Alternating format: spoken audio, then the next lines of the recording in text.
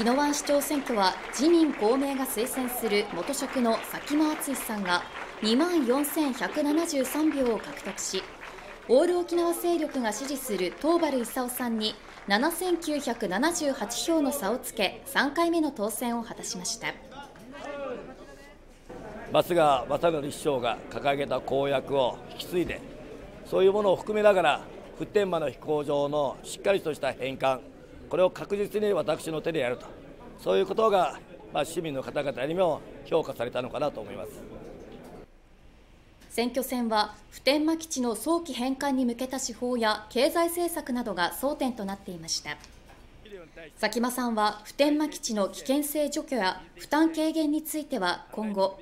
タイミングを図って政府に要請し市民が実感できるような結果を残していくとしています。すべては私の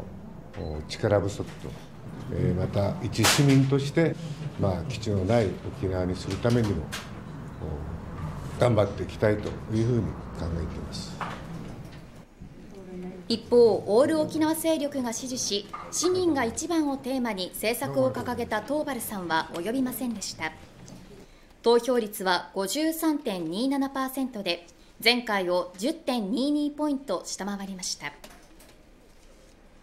当選から一夜明けた今日午前佐喜真さんは市役所に初登庁し当選証書を受け取りました。松川市長の分まで